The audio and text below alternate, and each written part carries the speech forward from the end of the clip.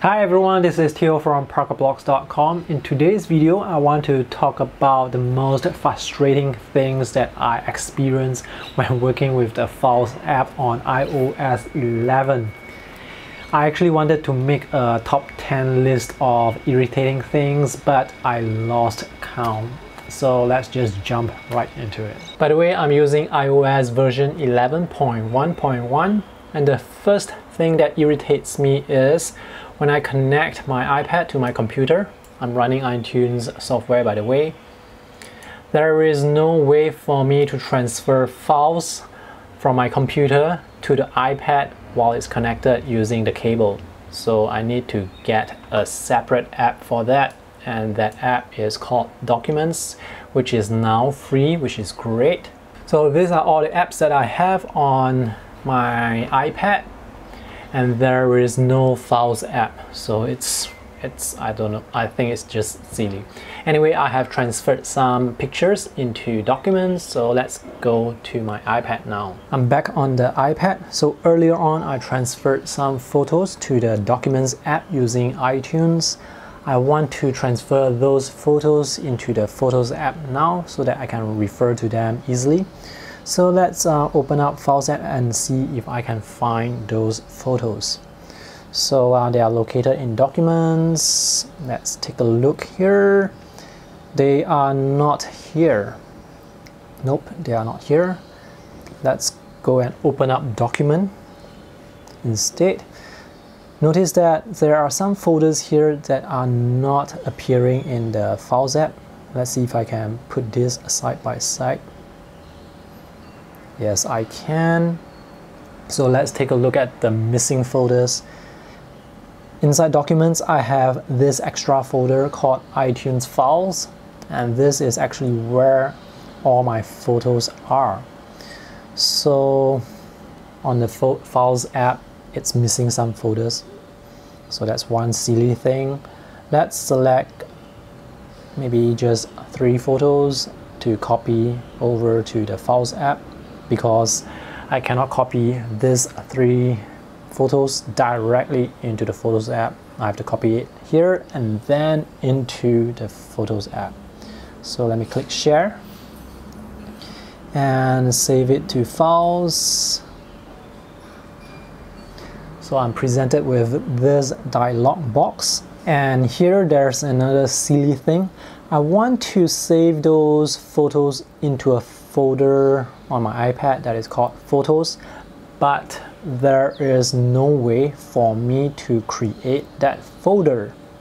So there's just um, no way for me to create that folder here inside the iPad. So I'm just going to copy those photos into this folder called Pages and add them. And now I'm back in the Files app. Let's check out the Pages folder.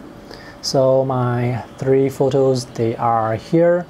Now one thing I noticed is there are only three folders here, but earlier on while I was using the Documents app, when I tried to save it into the Files app, I could see one, two, three, four, five, six, seven, seven folders, but inside this Files app, there are only three folders, so I'm not sure where the other four folders are. Anyway, I don't use them, so not too much of a problem but the thing is Files app it doesn't show you all the folders. So sometimes it may show you uh, sometimes it doesn't show you. So I'm not sure when it's going to show you. So um, alright. So all the photos are inside this folder. I want to create a folder here called photos so that in the future I can upload uh, transfer all those photos into this uh, photo folder. But again there is no way for me to create that folder inside Files app. Not here and also not inside the dialog box earlier on. So this is this is just very silly. The only way you can create a folder is if you connect to your iCloud Drive and this is where you see that little uh, folder icon with that little plus sign. This is where you can create a folder, but not on your iPad. Okay, so now I want to transfer those photos into the Photos app. I need to call up Photos first. I have already created an album that I want to drag and drop the photos into. So let me open up this. Let me select the three files and just drag over.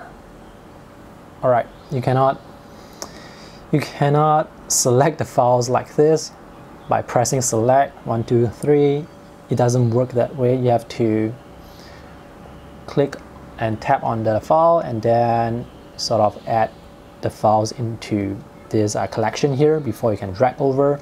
But you cannot select and drag over. It doesn't work that way which is I'm, I'm, I'm just um, I'm just not too sure why it works this way. Anyway this is the only way to drag and drop uh, to copy files over into the Photos uh, app.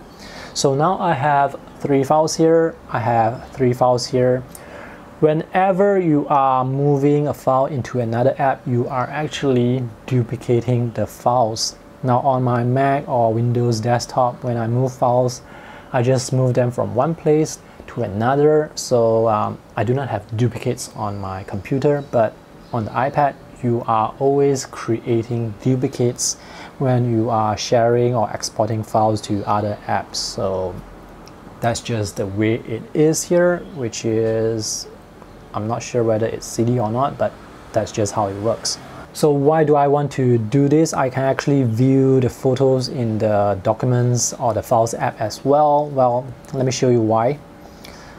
This is my blog. I have created a story. I want to upload some photos um, to go with the story. So let me choose this button uh, here and click browse. So I want to add the photos that I have uploaded which is um, let me just pick any three photos here. I want to select all these photos to upload onto my website but again there is um, no easy way to do that. I mean I can select the photos together like this but there is no way for me to upload upload it to my website. I mean I can select the photos but I cannot upload to my website. So that is why I need to copy the photos into the photos app. So let me try and choose the files now from the photos app Alright, so now I can select multiple files to upload. And here it says three photos selected. I can only do this inside the Photos app, but I cannot do that using the Files app or the Documents app. So with desktop computers or laptops, you can just easily, when you want to upload a file, you can just browse and go to the desktop or wherever your file is saved and you can select multiple files and upload. But here on iOS 11, for any app that you use, you have to remember a very specific workflow for that. Let me give you another example regarding the workflow. So I'm going to open Wacom Bamboo Paper. This is an app for taking notes and for drawing. So I want to import some of those photos that I've transferred to the iPad earlier on. And I can only import photos from the Photos app. So so my photos are here, but I cannot import photos from the Files app because in this particular app, it doesn't have, um, it does, it cannot access the Files app. So yeah. And with other apps, for example, this is MediBang Paint Pro, I can import photos from the Photos app as well. These are the three photos I can also import photos from the Files app. So let's take a look. So these are the three photos that I have. So it really depends on whether or not you, the app that you are using, whether it can um, access the Files app and the Photos app. It really comes down to the individual uh, implementation of all these apps.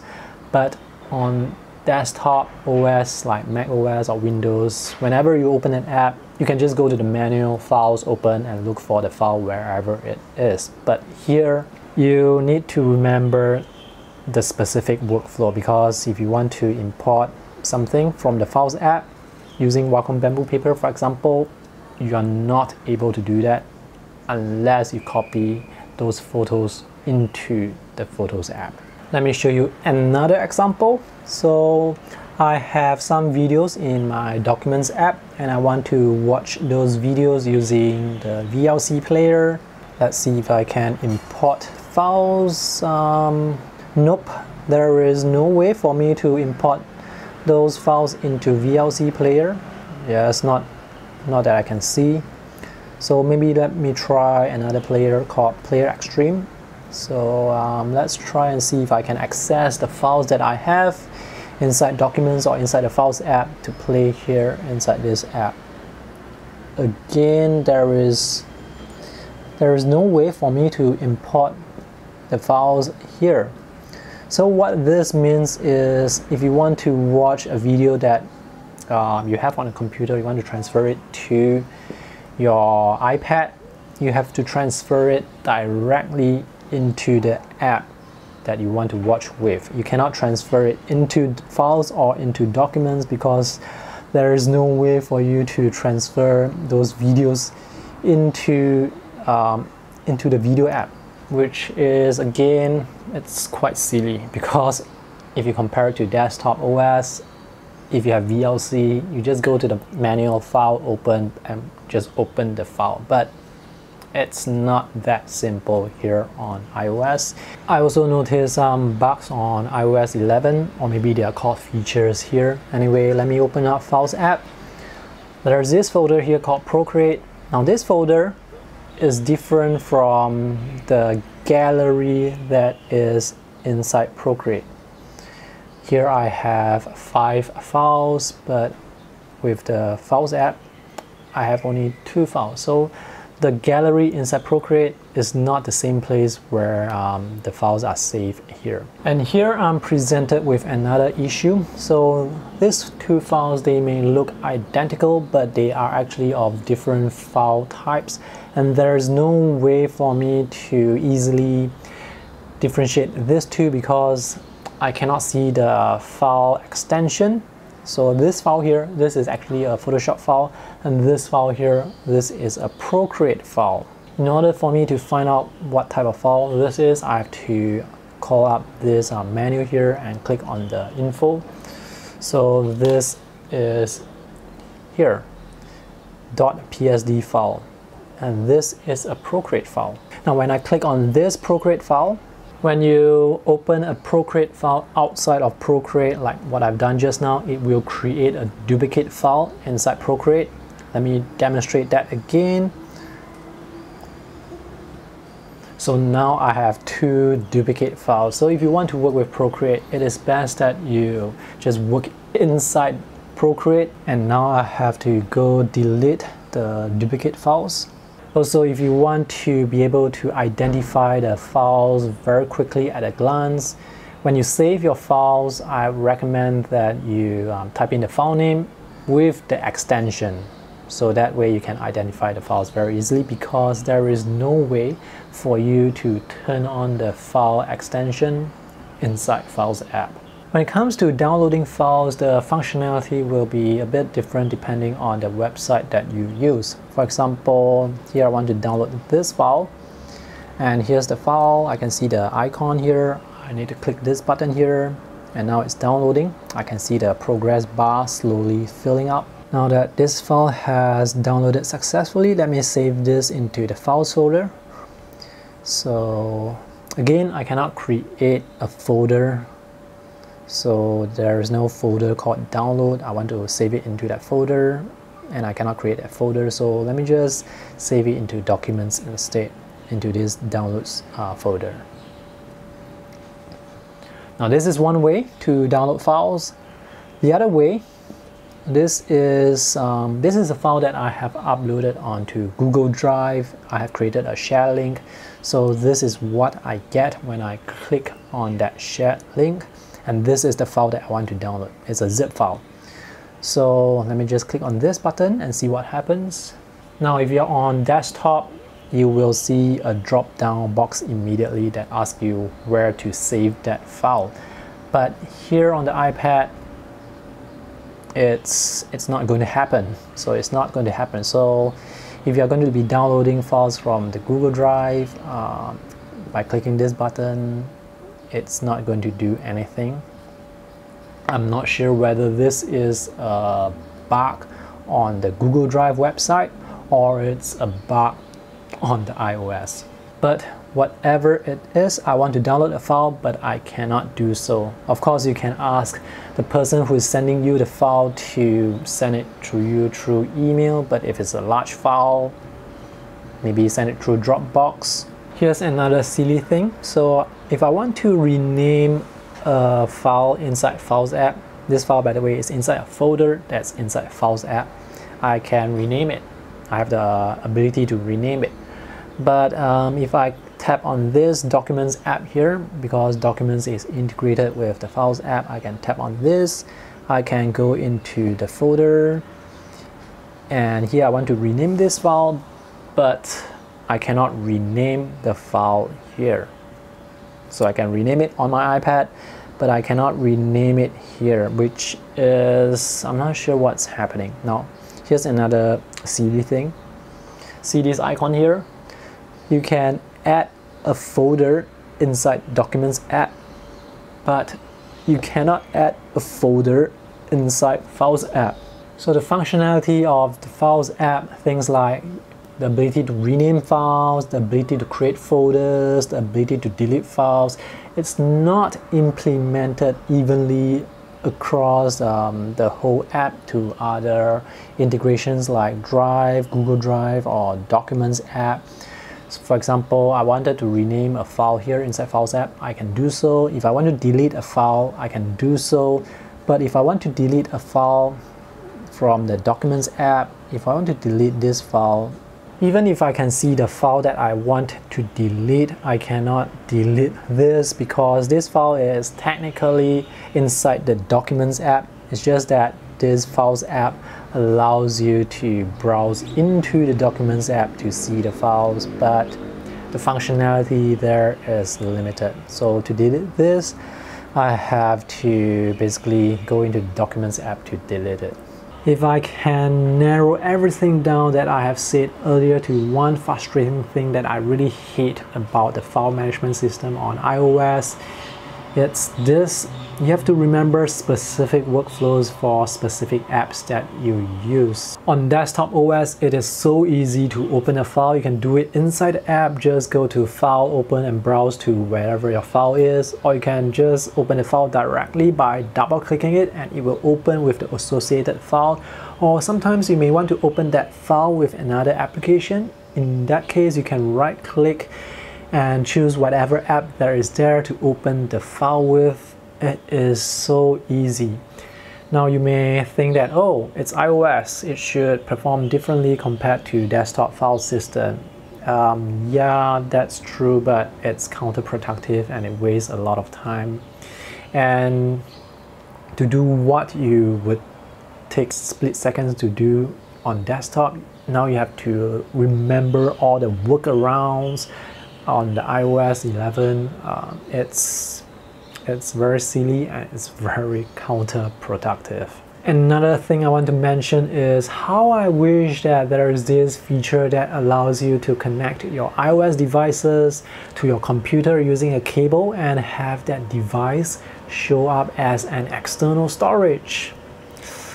Android devices has had this feature since forever, but on iOS, this is actually a very basic feature, but it's not available on iOS. I, I do not know how that is even possible from a company like Apple.